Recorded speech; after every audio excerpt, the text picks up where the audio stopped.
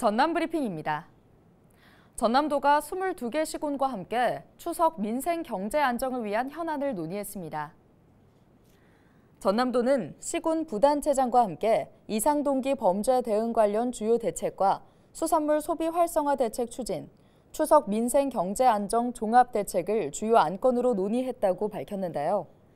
특히 수산물 소비 위축으로 어려움을 겪는 어업인을 위해 공공기관 구내 식당 등 대량 소비처 발굴과 우리 수산물 명절 선물을 이용 홍보하기로 했습니다.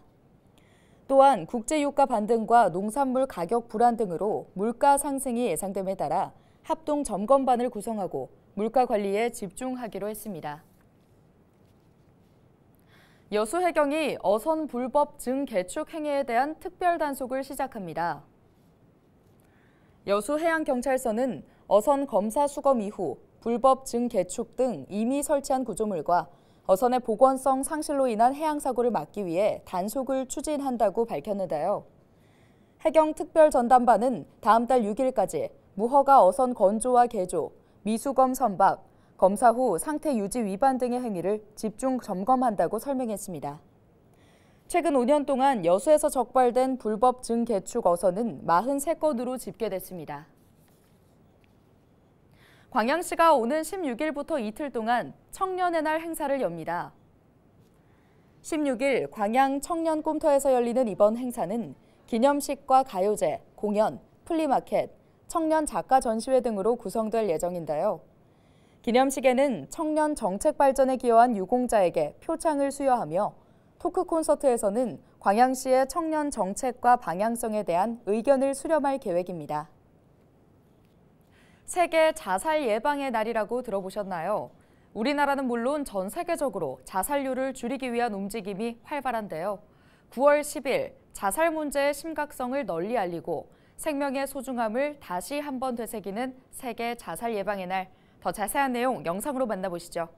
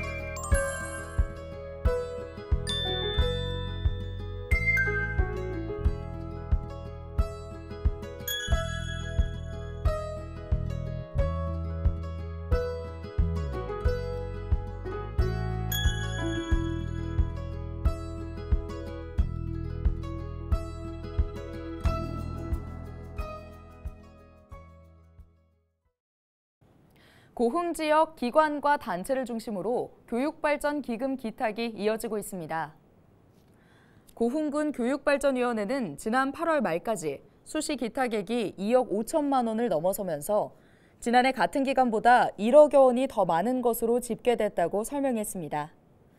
한국성면안전협회를 비롯해 한국김생산 어민연합회 고흥군 지회 등 29곳이 기탁한 교육발전기금은 소외계층 등 어려운 환경의 학생들과 교구 지원 등에 쓰일 예정입니다. 고흥군과 한국환경공단, 소상공인시장진흥공단이 고흥 전통시장 활성화와 ESG 경영을 위해 손을 맞잡았습니다. 세 기관은 업무 협약을 맺고 앞으로 전통시장 대기질 환경 개선 사업과 전통시장 물품 우선 구매, 사회 공헌 사업 추진 등에 협력하기로 약속했는데요. 고흥군은 이번 협약을 계기로 친환경 전통시장을 구축하는 데 집중할 방침입니다. 지금까지 전남 브리핑이었습니다.